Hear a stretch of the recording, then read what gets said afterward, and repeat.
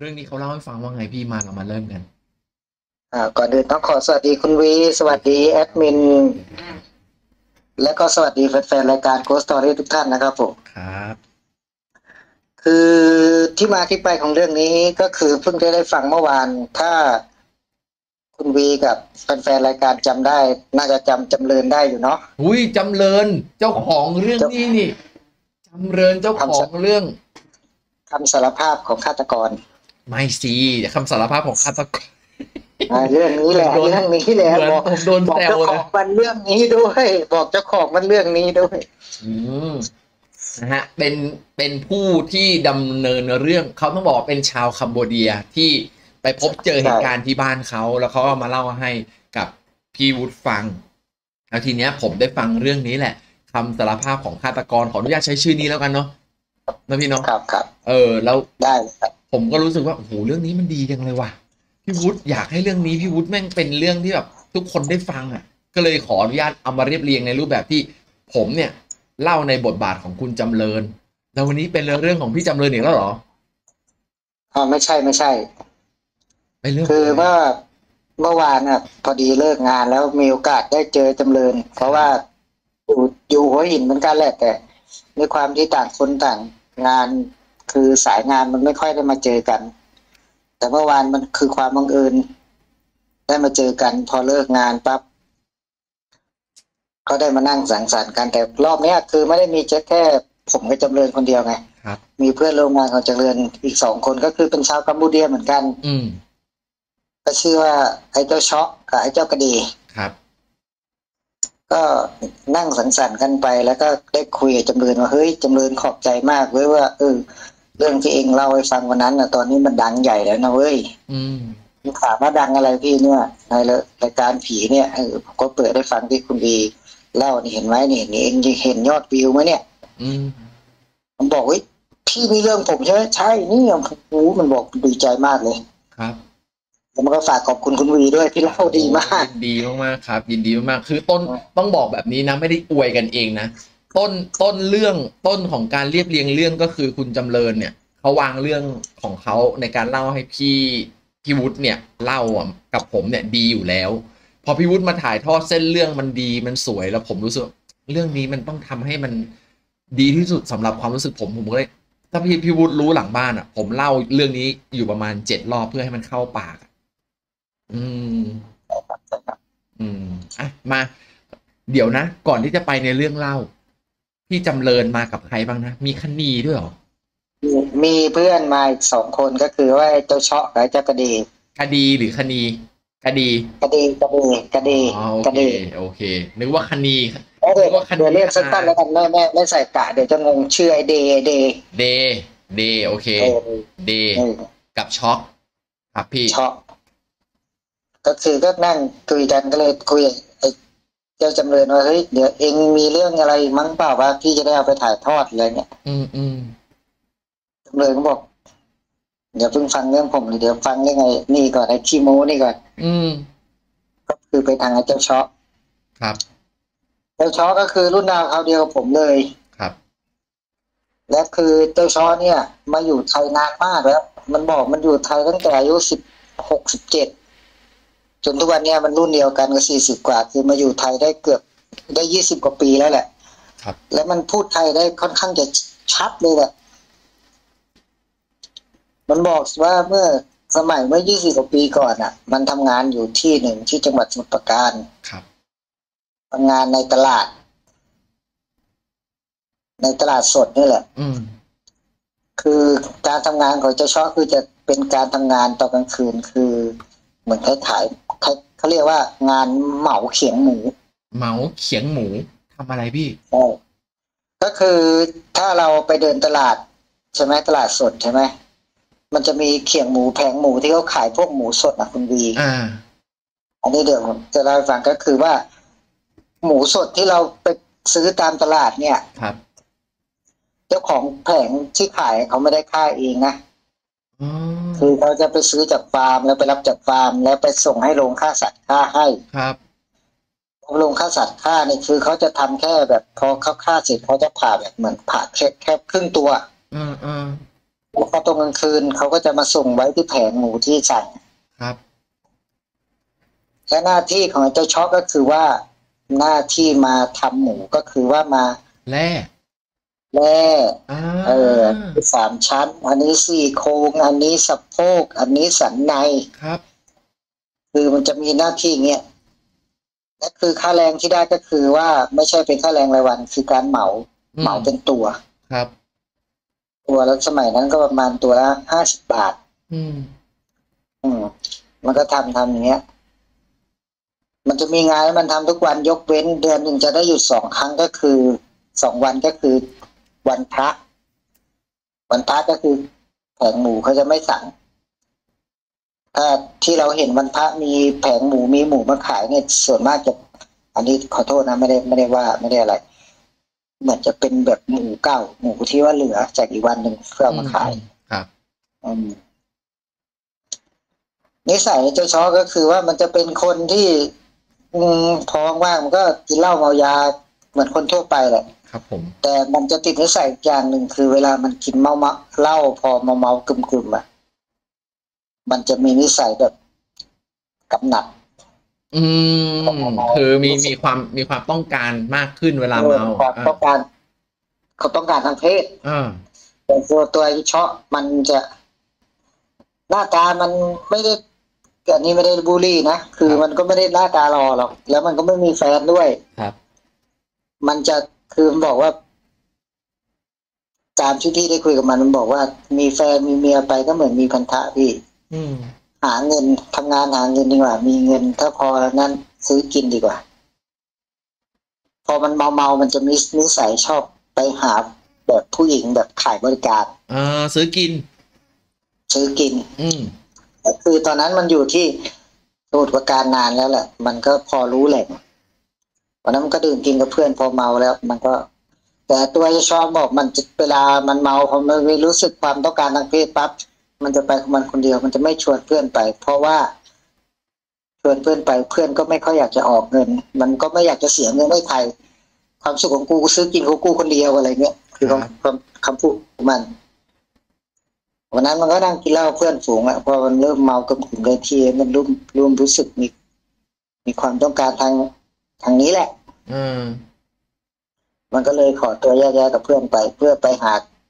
ไปในที่ที่มันเคยใช้บริการประจำครับ แต่วันนี้รู้สึกมันก็รู้สึกว่าตัวมันก็เมาเมามากกว่าปกติที่มันเคยไปแหละมันไปแล้วมันเดินไปก่อนที่จะถึงที่ที่มันที่มันไปใช้บริการประจำปรากฏว่า มันได้ยินเสียงเรียก เพ่เพ่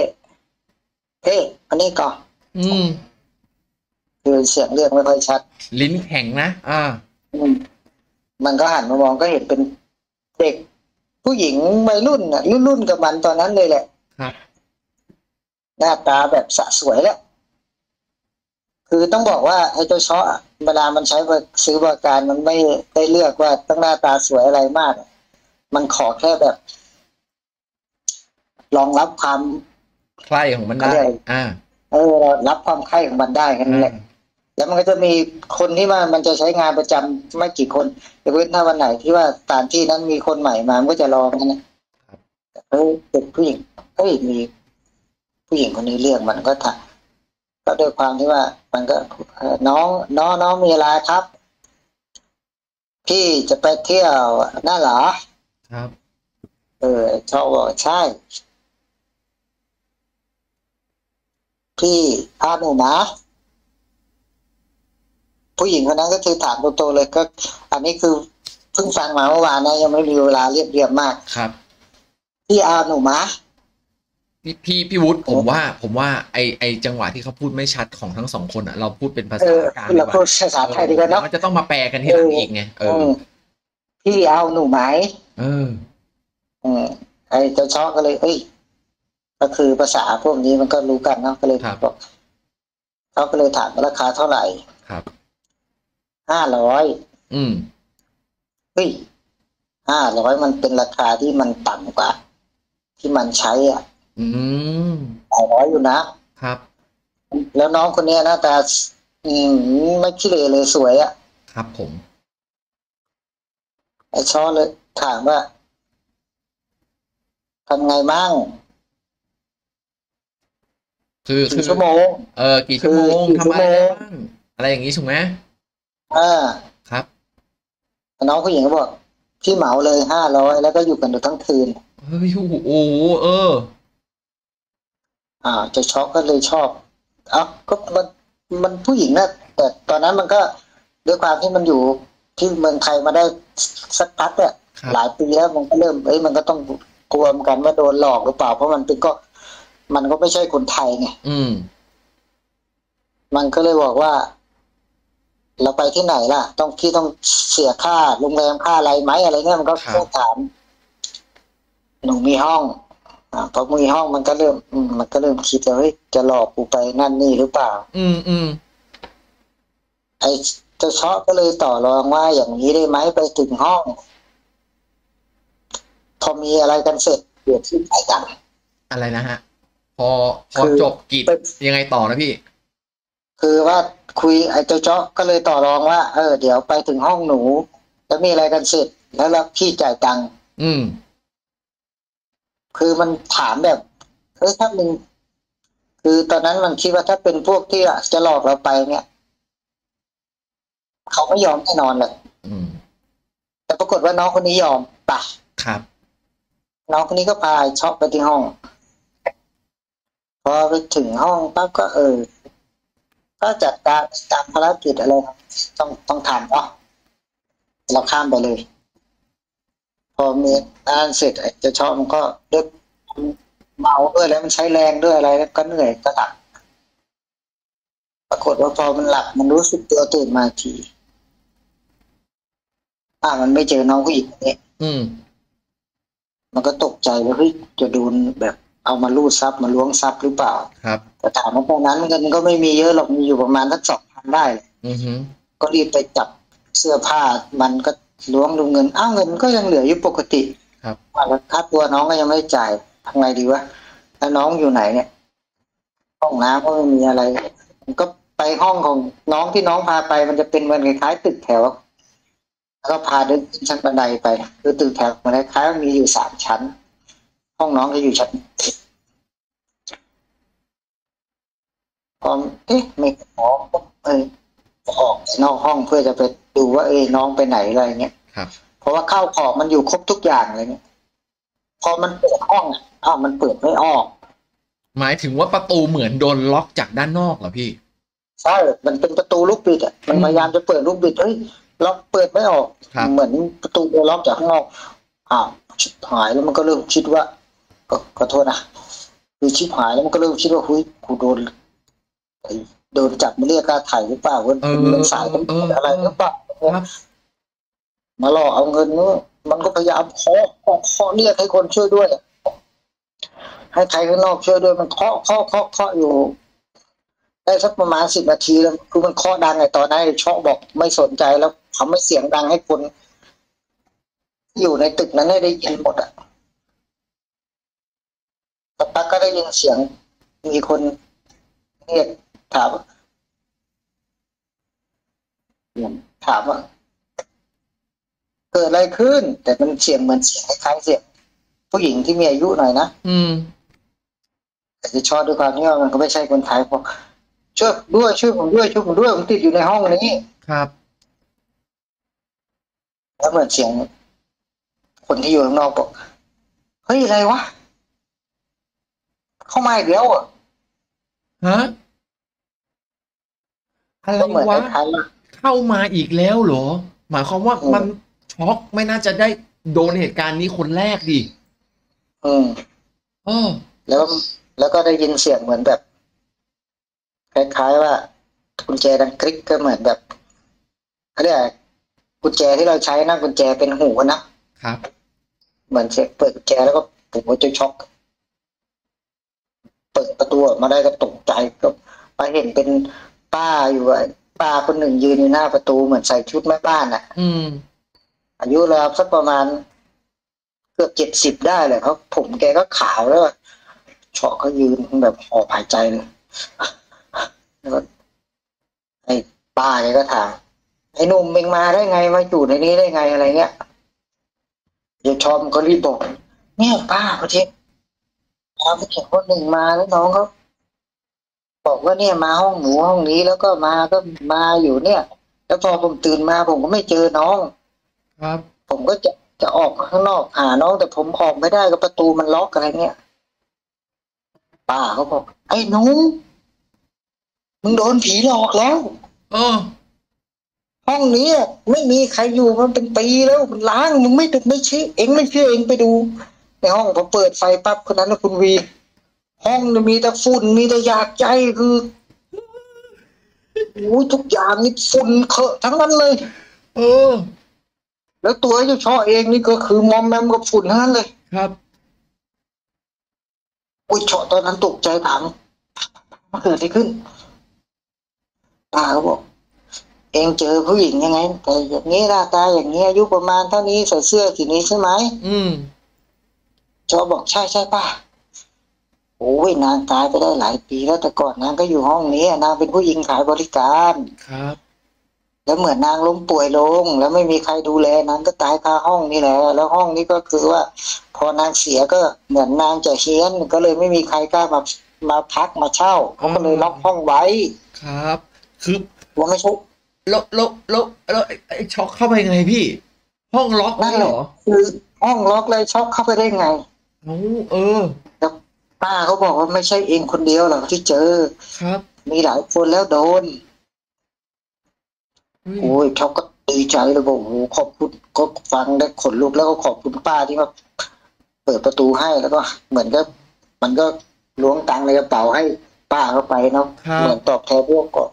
เปิดประตูให้แล้วมันก็จะรีบออกจากตึกนั้นน่ะแต่ก่อนที่มันจะออกป้าก็เรียกโน้มเดี๋ยวชอกวันมามองป้าก็บอกว่า อิงออกไปแล้วอิงออกไปเลยนะวิ่งพ้นประตูหน้าตึกไปแล้วอิงอย่าหันหลังมามองนะเออเพราะทุกคนที่เจอแบบเนี้ยหันหลังมามองอะ จะเห็นไอ้น้องผู้หญิงคนเนี้ยยืนอยู่บนหนาดฟ้าครับ แล้วคนที่เห็นรูปผู้หญิงคนเนี้ย ส่วนมากจะเป็นบ้าเป็นบอถ้าไม่ตายก็เป็นบ้าไปเลยนะครับเองออกจากตึกได้แล้วเองรีบวิ่งเลยนะเองอย่าห้ามหันหลังมามองเด็ดขาด อืมอืมโอ้ยทอได้ฟังงั้นก็รีบเลยวิ่งแบบไม่สุด คือวิ่งลงจากชั้นสามลงมาลงมาแบบคือมันไม่หันหลังมองอะคือต่อให้กูสะดุดล้มกูจะวิ่งอย่างเดียวอะครับวิ่งพอออกพ้นนอกตึกแล้วก็วิ่งวิ่งวิ่งไปกลับ ไปถึงห้องพักมัน พอประมาณสักสามวันมันมันหายจากขวัญเสียจากเรื่องนี้มันก็ไปเล่าให้เพื่อนฟังอะไรเงี้ย เฮ้ยเพื่อนถามเองบ้าเอ้ยเมาเปล่าเองไปเจอคนหลอกเปล่าเจอ เอ่อผู้หญิงยังว่าหลอกเปล่าเฮ้ยข้าไม่ไม่ได้โดนหลอกข้าจำได้เลยว่าซอยไหนซอยไหน ครับพอถึงว่ามันจะวิ่งออกมาก็จริงนะไม่ได้มองตึกนั้นก็จริงแต่มันก็ยังมองซอยอยู่ ถึงมันยังอ่านภาษาไทยไม่รู้แต่มันก็มีตัวเลขไงอืม ก็เลยเพื่อนไม่เชื่อพากันไปดู ไปดูดีวะ หลังจากนั้นมันก็พากันคือหลังจากเหตุการณ์ที่เจาะเชิญนี้ประมาณได้สักสามวันแล้วนะคุณวีครับ มันก็พาเพื่อนประมาณสามคนเนี่ยกลับไปที่ซอยเนี่ย มันก็เดินเดินไปมันก็จำได้อยู่นะว่า ถึงมันจะไม่ได้หันหลังดูตึกก็จริงแต่ก็จำได้ว่ารอบข้างมันมีอะไรอะไร แต่พอไปถึงที่อะคุณวี ไอ้ช็อกนี่แม่งแบบช็อกยิ่งกว่าเดิมอะทำไมอะ ตึกที่มันไปเห็นนะคุณวีอย่าบอกว่าล้างทั้งตึกนะ มันเป็นตึกร้างโอ้ยบ้ามาหลอกซ้ำซ้อนเออ ครับ แล้วคือหน้าประตูมันเป็นประตูแบบเขาเรียกอะไรประตูซี่โครงเหล็กที่มันเป็นประตูประตูเหล็กรูดอะอ่าอ่าอ่าอ่านึกออกปิดอยู่แล้วก็เขาปิดป้ายว่า ขายหรือให้เช่าแล้วคือว่ามันเหมือนไม่มีคนมาเช่านานแล้วอะคือโอ้โหเออมันล้างประตูมันสนิมขึ้นอะ แล้วมันไม่ใช่แค่ตึกเดียวมันติดกันอยู่สามสี่ตึกอะคือมันล้างมาทั้งตึกตลอดแนวเลย เออ อีน้องที่มาขายบริการนี่ก็ไม่ไม่ได้อยู่แล้ว ไม่รู้ ไม่รู้ว่าใครว่าใครแต่ที่ป้ามาเปิดให้นี่ใครวะเออ ประเด็นคือไอ้ป้าเนี่ยมาหลอกกูอีก ครับครับ เออนี่แหละก็คือสาวปริศนาคือตอนนี้ยี่สิบกว่าปีเชาะยังไม่รู้เลยว่า ผู้หญิงสองคนที่มันเจอคือใคร ไม่ใช่แค่ผู้หญิงคนที่พามาด้วยนะไอ้ป้าอีกคนนึงนะโอ้ยก็จบลงไปแล้วสำหรับเรื่องเล่าในวันนี้ ใครที่ชอบก็ฝากกดแชร์ กดไลค์ กด Subscribe ครั้งหน้าจะเป็นเรื่องเล่าเรื่องไหน ฝากติดตามช่องของเราไว้ด้วยสำหรับวันนี้ สวัสดีครับ The Good Story